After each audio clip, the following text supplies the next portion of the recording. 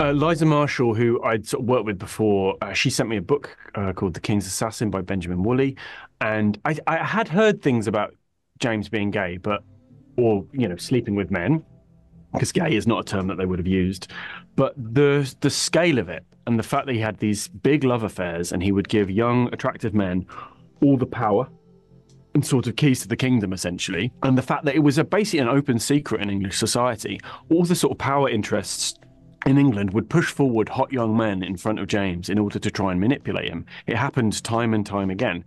So reading this book and re- seeing the reality of that story was extraordinary. And then seeing this sort of mother and son, Mary and George, at the heart of it, and the way they rise from basically being commoners to being two of the most powerful people in Europe. That's an extraordinary story.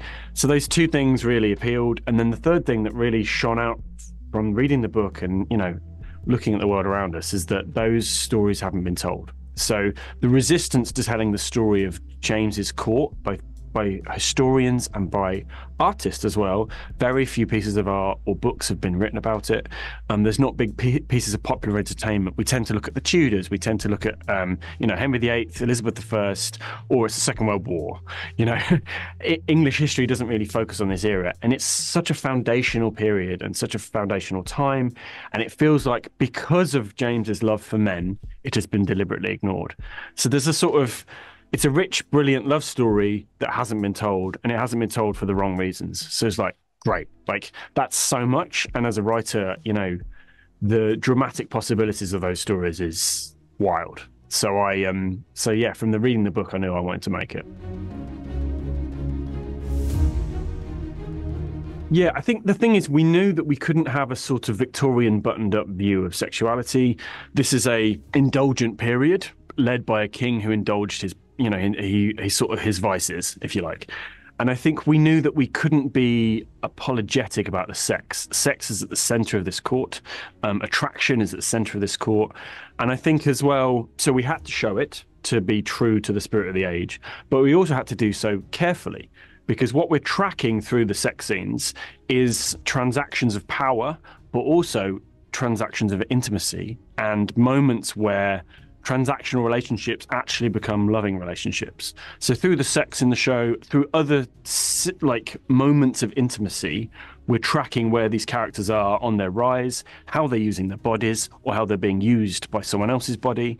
So it felt like we couldn't shy away from it. But we had to do it carefully, and we did do it carefully. You know, there were intimacy coordinators, all our performers and directors have thought about how we represent it in a really you know, we we don't want this to be a sort of cheap, lascivious show. We want to do some cheap, lascivious things because they're fun, but ultimately, want it we want it to be underscored with a a coursing sense of investigating a love story, and that's what I think we're doing. Yeah, I think um, the most unique thing of it is just her extraordinary body of work speaks for itself. Um, and she, when she enters or attaches herself to a project, it raises everyone's game. More people want to be involved. You get a better caliber of actor. Everyone on the casting crew, they want to work on a Julianne Moore project because she's so good. Um, and I think the key thing that she does is she makes everyone work harder as well. So on a set, you you know you're you're acting opposite her. You you have to bring your best game.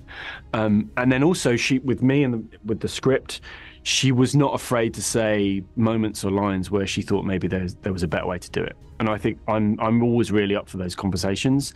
And she did so in a way that was respectful to me in the writing, but occasionally if she thought something wasn't very good, she would tell me. And I think that's that's the best way to work. So I would say, yeah, she we wouldn't have made the show without her. We couldn't have made the show without her.